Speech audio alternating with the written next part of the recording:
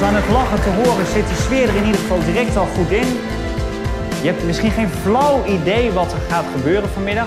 Ik ook niet, blijft altijd spannend. Ligt ook deels aan jullie. Misschien ben je wel overgehaald en zit je hier vandaag omdat iemand zei: ga je ook mee? Vanmiddag is een soort proeverij van wat we met ego-strippen doen. En we gaan dus ook niet helemaal uitleggen wat nou ego-strippen is. We gaan jullie af en toe gewoon in onderdompelen, zodat je het gaat ervaren.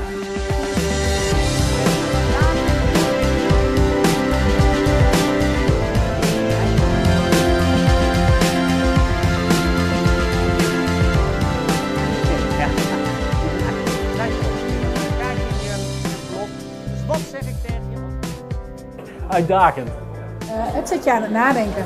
Erg leuk. Ja, super. Het is een hele mooie presentatie. Heel leuk en dapper dat hij dat zo doet. Prikkelend. Ja, zo ben ik. Dus stel dat wij in een omgeving zitten met hele dynamische mensen en wij zijn vrij rustig. Dan zeg ik, ja, ik ben saai. Ja, ik ben redelijk stil.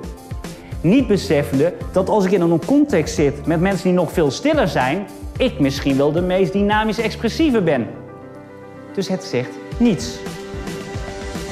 Nee, dat wou ik zeggen, hè? Hij zit hier wel.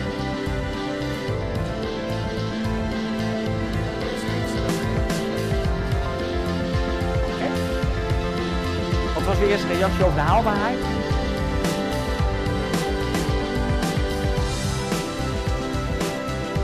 Is er iemand die niet kende en die de oplossing heeft? Eh, daar zie ik bijvoorbeeld dat daar heel veel mensen zijn die misschien wel een hele andere kant op zouden willen, maar zeggen ja, ja Rick, maar eh, als ik dat doe, dan ga ik wel minder verdienen. En geld, ja, daar ben je dan heel zuinig op. Want veronderstel dat je door de mand valt en dat je baas ziet dat je een loser bent en die je eruit gooit, dan is het wel handig dat je nog wat geld achter de hand hebt. En is het waar? Het is maar de vraag. Het is ooit begonnen met een idee die je tot een identiteit hebt ontwikkeld. Gaaf, prikkelend. Eh, zit aan tot nadenken. Eh, in eerste instantie confronterend. Je denkt van doe even normaal. Hij noemt je een eikel. Maar uiteindelijk is het kringetje rond. En dat je dus van je moet laten afglijden. En in feite onbevooroordeeld eh, de wereld in moet stappen.